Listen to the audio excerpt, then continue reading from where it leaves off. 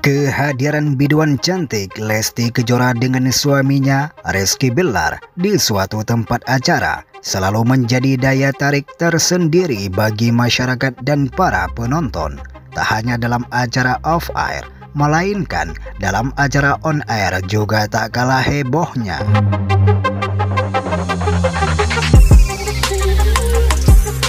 Seperti tadi malam, tepatnya dalam acara penghargaan paling bergengsi di tanah air, yaitu acara Indonesian Music Award 2021 yang disiarkan langsung di televisi RCTI.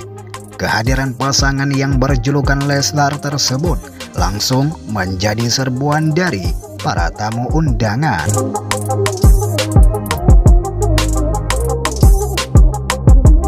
Lesti Kejora yang tampil anggun super cantik meski dalam keadaan hamil besar menjadi sorotan dari sederet selebritis lain yang menghadiri acara penghargaan tersebut seperti misalnya Ariel Noah.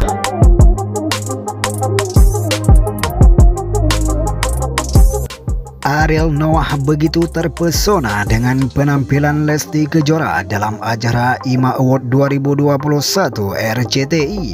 Menurut Duda Keren itu, meskipun Lesti tengah berbadan dua, namun kecantikannya sedikit pun tidak berkurang, melainkan semakin bertambah.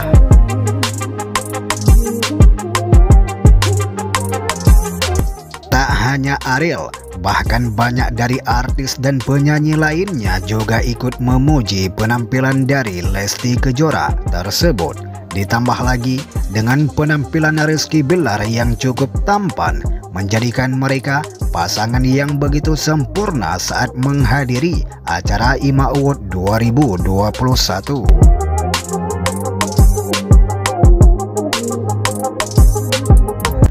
Selain dari itu juga, Ariel Noah juga kagum dan begitu mengapresiasi atas keberhasilan Lesti Kejora dalam ajang tersebut. Bagaimana tidak, seperti yang sudah diketahui bersama, Lesti Kejora sukses memboyong semua penghargaan dalam ajang bergengsi itu.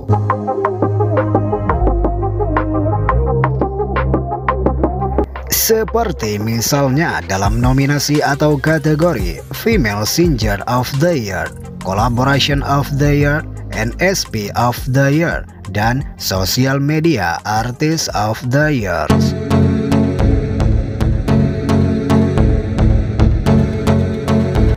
Sontak saja, keberhasilan dari Lesti Kejora tersebut membuat seluruh tamu undangan dan para penonton terkejut dan tak menyangka bahwa istri dari Rizky Bilar tersebut begitu didukung oleh masyarakat luas di Indonesia.